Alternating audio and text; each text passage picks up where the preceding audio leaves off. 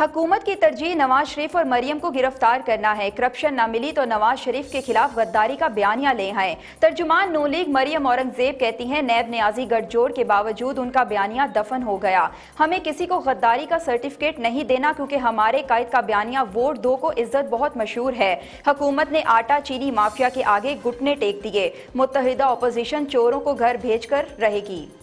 एहतसाब का मसनू बयानिया दफन हुआ तो अब नया बयानिया गद्दारी का। हमारे कायद का बयानिया के वोट को इज़्ज़त दो, खुद इतना मज़बूत है कि इस तरह की चीज़ें निकलेंगी।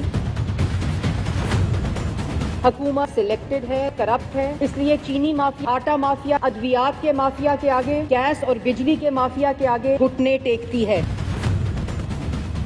जब चीनी चोरों को रात के अंधेरे में चार्टर जहाज़ पे मुल्क से बाहर भगा दिया जाए तो उस वक्त 110 रुपए चीनी मुल्क में बिक रही है। दवाइयों के अंदर 400 फ़ीसद से 500 फ़ीसद इजाफा है। इन्फ्लेशन 2018 में तीन फ़ीसद आज तेरह फ़ीसद। पहले कंटेनर पर बैठकर और अब वज़ीर आज़म की कुर्सी पर बैठकर आपने मुल्क का बेड़ा गर्क कर दिया। लेकिन हम हैं, इस नलायक टोले से छुटकारा हासिल करा के दम लेंगे।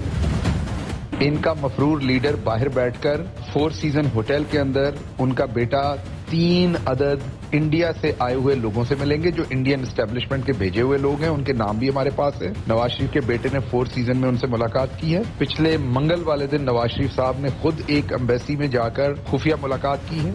और ये मरियम औरंगज़ेब साहबा अपने आप को इतनी समझदार और तेज समझती हैं कि हम इनसे इसका जवाब नहीं मांगेंगे और ये, ये हमें अगली चीज़ में उलझा देंगे।